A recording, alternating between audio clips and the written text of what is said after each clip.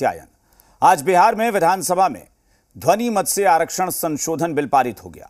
अब बिल को राज्यपाल के पास मंजूरी के लिए भेजा जाएगा। राज्यपाल के सिग्नेचर के बाद, उनके हस्ताक्षर के बाद आरक्षण विधेयक बिल 2023 लागू हो जाएगा और इसके साथ ही बिहार में आरक्षण का दायरा 75 फ़ीसदी पहुँच जाएगा। आरक्षण बिल पास होने पर मुख्यमंत्री नीतीश कुमार ने खुशी ज़ाहिर की तो बीजेपी नेताओं ने भी बिल का खुलकर समर्थन किया।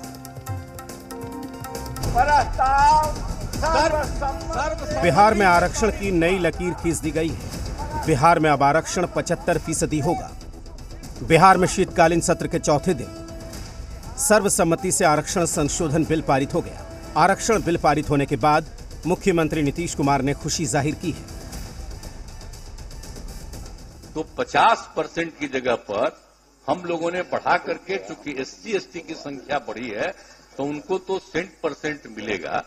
तो वैसी स्थिति में वो 22 हो रहा है तो अब जो 50 है, उसमें मात्र एस सी का मात्र 28 बचता है। इसलिए हम लोगों ने कहा कि 15 परसेंट और बढ़ा दिया जाए।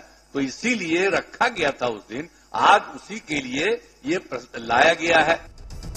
बिहार में पहले किसे कितना आरक्षण मिलता था और अब किसे कितना आरक्षण मिलेगा, ये भी जान लीजिए। पहले अत्यंत पिछड़ा वर्ग को 18 फ़ीसदी आरक्षण मिलता था अब 25 फ़ीसदी मिलेगा। पिछड़ा वर्ग को पहले 12 फ़ीसदी आरक्षण मिलता था। अब दायरा 18 फ़ीसदी का हो गया है। वहीं अनुसूचित जाति के लिए 16 फ़ीसदी आरक्षण था, अब बढ़कर 20 फ़ीसदी हो गया है। अनुसूचित जनजाति के लिए पहले एक प्रतिशत आरक्षण था, अब दो फ़ीसदी मिलेगा। आर्थिक आधार पर आरक्षण पहले की तरह ही दस फ़ीसदी रहेगा।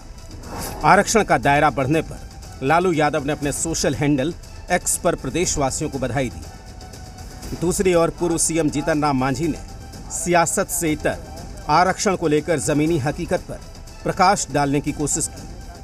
तो डिप्टी सीएम तेजस्वी यादव सियासी मुद्दे से आगे बढ़ते नहीं दिखे।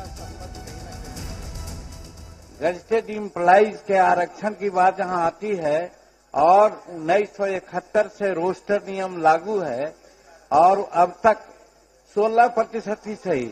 होना चाहिए था, लेकिन उनका आरक्षण अभी मात्र तीन प्रतिशत है। तो 16 प्रतिशत कैसे पूरा किया जाएगा, सरकार को ये सोचना चाहिए। मांझी जी को बिहार का मुख्यमंत्री बनाया था और उनके बेटे को भी जो है उन्होंने मंत्री बनाने का काम किया। यही बात जो है, वो बात कह रहे थे।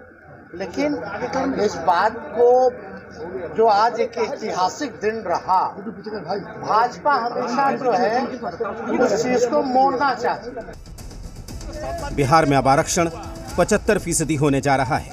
कैबिनेट से मंजूरी के बाद सदन में बिल पारित हो चुका है। लेकिन मांझी ने समाज और आरक्षण से जुड़े जो मुद्दे उठाए हैं, उस पर सरकार को विचार करना चाहिए। Bureau report, Zee media.